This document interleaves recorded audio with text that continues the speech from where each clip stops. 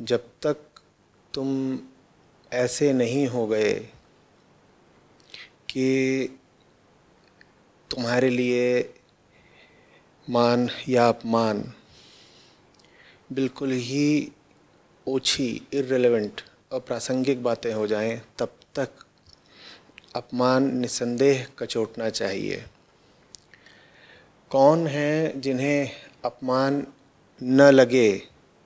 तो भी कोई बात नहीं।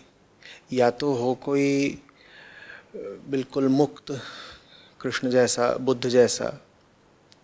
वो अपमान के पार हैं। हालाँकि जो सहज प्रतिक्रिया होती है, वो वो भी देते हैं। या फिर कौन होते हैं ऐसे जिन्हें अपमान नहीं लगता? पत्थर और पशु। एक पत्थर को तुम कितनी भी लाते मारते रहो उसको कुछ बुरा नहीं लगना, उसके आत्मसम्मान पर आँच नहीं आ जानी है। इसी तरीके से जानवरों को भी तुम लात मार दो, पत्थर मार दो, वो शरीर की रक्षा के लिए तुमसे थोड़ी देर के लिए दूर हो जाते हैं। उनको बुरा लगता भी है तो इसलिए कि उनके शरीर पर चोट आ गई। पर उनके भीतर ऐसी गौरव की कोई भावना नहीं होती, उनके भीतर कोई ऐसी चेतना ही नहीं होती अपने प्रति कि उस पर चोट आए। चोट आती भी है तो उनके शरीर पर आती है, चेतना पर नहीं आती। तुम उसको दोबारा पशु को रोटी दिखा दो, वो लौट करके तुम्हारे पास आ जाएगा।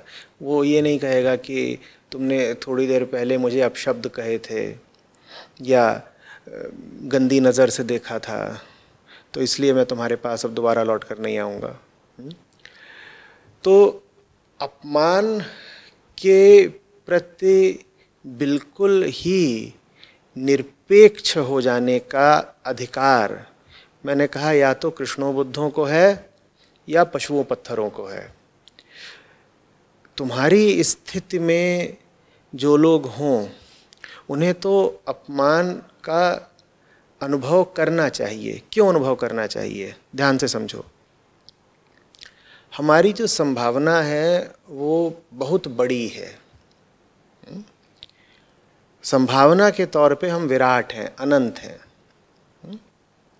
हमारी भाषा में कहूँ तो पोटेंशियली हम इनफाइनाइट हैं। तो जिसकी संभावना इतनी हो, अगर वो छोटा जीवन बिता रहा हो हम्म?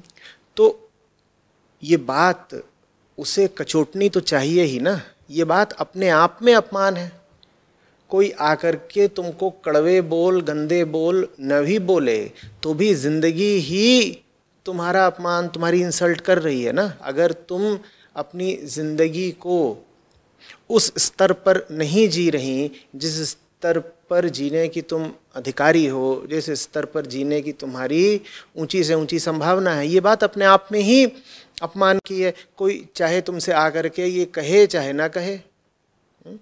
तो देखो, अपमान के मौके तो हमारे लिए वरदान भी हो सकते हैं, अपमान हमारा दोस्त भी हो सकता है, अगर वो हमें हमारी ज़िंदगी के यथार्थ से परिचित कराता है।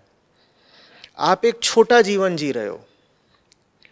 और कोई ऐसी घटना घटी या किसी ने ऐसा कुछ कह दिया, कर दिया जिसकी वजह से आपने अपमानित अनुभव करा तो ये मौका तो खुद को देखकर, बात को समझकर बेहतर बनने का भी हो सकता है ना? जो आपका अपमान कर रहा है, वो आपका दोस्त ही हो गया, या वो स्थिति जिसमें आपका अपमान हुआ है, वो स्थिति आपके लिए लाभप्रद हो गई। तो अगर किसी स्थिति में आपका अपमान हुआ बात बुरी लग रही है तो वजह खोजो ना। पूछो अपने आप से कि मैं क्यों इतनी छोटी या अशक्त हम्म, दुर्बल हूँ ताकत बिना हूँ कि कोई आकर कर के मुझे मेरी नज़रों में ही नीचा अनुभव करा गया। जैसे ही वजह दिखाई पड़े कि ये वजह थी, कमज़ोरी मेरे भीतर थी, खोट मेरी थी, जिसकी वजह से दूसरे को मौका मिल गया कुछ ऐसा कर देने का, कह देने का कि मैं अपमानित अनुभव करूँ तो तुरंत अपनी खोट को हटाओ। अपनी खोट को हटाओ ही नहीं, मुस्कुरा करके उस व्यक्ति का या उस स्थिति का शुक्रिया भी अदा करो कि तुम आते ही नहीं तो मुझे पता ही नहीं चलता कि मैं भीतर से इतनी कमज़ोर हूँ। मैं अपने भीतर इस तरह की बीमारी या अशक्तता छुपाए बैठी हूँ। और एक बार पता चल गया, एक बार अपमान हो गया, फिर कमर कस लो कि दोबारा नहीं होने देना है। जिस चीज़ को लेकर के एक बार सर झुकाना पड़ा, खरी खोटी सुननी पड़ी, वो चीज़ अपने साथ दोबारा होने नहीं देनी है। और वजह ज़रूर होगी। बिना वजह तुम्हें किसी की बात कचोटेगी नहीं। ऐसा नहीं है कि दूसरे ने इतना तीखा बाण मार दिया कि तुमको चुप गया। ना। तुम्हारे ही भीतर कहीं कोई खोट थी जिसके कारण दूसरे की बात इतनी बुरी लगी? अगर तुम जानते ही हो कि दूसरा जो बात कह रहा है, वो बिल्कुल व्यर्थ है, झूठी है, बेमतलब है तो तुम्हें उसकी बात चुभेगी ही नहीं। किसी की बात अगर तुम्हें चुभ गई है तो उस बात में कहीं कुछ ना कुछ सच्चाई ज़रूर है। और अगर दूसरा तुम्हें सच्ची बात बोल रहा है, भले ही कड़वे तरीके से तो तुम उसकी बात की सच्चाई का इस्तेमाल करो ना। तुम कहो कि अच्छा हुआ, मुझे पता चल गया। अच्छा हुआ, तूने आके मेरे सामने आईना रख दिया और आईना भी तूने वहाँ रखा, जहाँ मेरी हस्ती में गंदगी थी, कमज़ोरी थी, ठीक वो चीज़ तूने मुझे प्रदर्शित कर दी। अब मैं उसको सुधारूँगी, अब मैं बेहतर होकर दिखाऊँगी। तो अपमान तुम्हारा दोस्त हो सकता है, अगर तुम कारण तलाश लो। अगर तुम कहती हो कि कारण तो कोई है नहीं, मुझे तो बस यूँ ही बुरा लग जाता। नहीं, ऐसा नहीं होता है। कारण अगर तुम्हें दिख नहीं रहा है तो कारण खोजो। कारण मिलेगा ज़रूर। बिना कारण के कोई अपमानित अनुभव नहीं करता। कोई ना कोई भीतर जगह होती है कमज़ोर, जहाँ बाहर वाला कोई चोट कर जाता है। बात समझ रही हो? हवाएँ बहती हैं। एक पेड़ पर लगे हुए हैं, न जाने कितने पत्ते। उसमें से कुछ पत्ते टूट करके उड़ जाते हैं। हवाओं को दोष दें क्या? बाकी पत्ते क्यों नहीं टूट गए? ज़रूर उन पत्तों में, शाखों में, डालों में, पेड़ों में कमज़ोरी होगी जो हवाओं के सामने टूट जाते हैं, गिर जाते हैं। हम उनकी बात क्यों ना करें? हवाओं को दोष देने से क्या होगा? हवाएँ तो बाहर ही हैं। हम पर, हम, हमारा उन पर कोई बस नहीं। वो आज बह रही हैं, वो कल फिर बहेंगी, परसों फिर बहेंगी। हवाओं की शिकायत करने से क्या होगा? अपने आप को देखो ना, अपने आप को ऐसा बना लो कि हवा कैसी भी बहे, हम टूटेंगे नहीं। हम में ताकत है, हमें पीलापन, दुर्बलता नहीं आ गई। बात समझ में आ रही है? जो तुम्हारा अपमान कर रहा हो, उसको अपना दोस्त मानना। अगर उसने अपमान किया ही इसलिए है, ताकि तुम जग जाओ, उठ बैठो, सचेत हो जाओ। ऐसे अपमान करने वाले को तो मुँह मांगा दाम दे करके अपने पास लेकर के आना। हम्म? संतों ने कहा है ना, अगर तुमने पढ़ा हो दोहा, निंदक नियरे राखिए, आँगन कुटी छबाए। हम्म?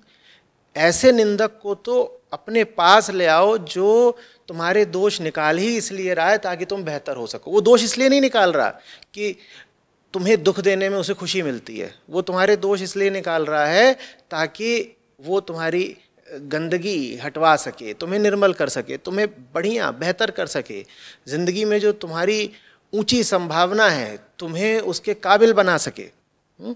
तो ऐसा कोई व्यक्ति अगर तुम्हारी आलोचना करता है या अपमान भी कर देता है तो उसको आदर ही देना, उसको अपना दोस्त ही मानना हम्म? जो तुम्हारा हितैषी होगा, जो तुम्हारा वास्तविक दोस्त होगा, वो घटिया काम में तुम्हारे बगल में नहीं खड़ा होगा। वो तुम्हारा सबसे बड़ा निंदक, सबसे बड़ा आलोचक होगा। और जो तुम्हें अच्छा बोलता रहे, बढ़िया बोलता रहे तुम्हें मान सम्मान ही देता रहे, तब भी जब तुम अधिकारी हो कि कोई तुम्हें साफ़ साफ़ कड़वी बात बोल दे, तुम्हारे सामने हकीकत उघाड़ कर रख दे, उसको तुम अपना दुश्मन मानना यह मुश्किल पड़ेगा तुमको। बात समझ में आ रही है? और अगर ऐसों को तुमने अपना दुश्मन मानना शुरू कर दिया, और अगर जो तुम्हारा वास्तविक दोस्त है वैसों की तुमने संगत शुरू कर दी, उनके साथ रहना शुरू कर दिया। उसके बाद मान को, सम्मान को, अपमान को देखने का तुम्हारा नज़रिया बिल्कुल ही बदल जाएगा। तुम फिर ये नहीं देख रही होगी कि उसने मेरे साथ क्या कर दिया। फिर तुम्हारी नज़र बस ये होगी कि मेरे साथ जो कुछ भी हुआ है, उसका इस्तेमाल करके मैं बेहतर कैसे हो जाऊँ। अब तुम्हारी नज़र दूसरे पर नहीं है, अब तुम्हारी नज़र अपनी बेहतरी, अपनी तरक्की पर है। और जिसकी नज़र लगातार अपनी बेहतरी पर होने लग गई, वो ज़िंदगी में बहुत आगे जाता है।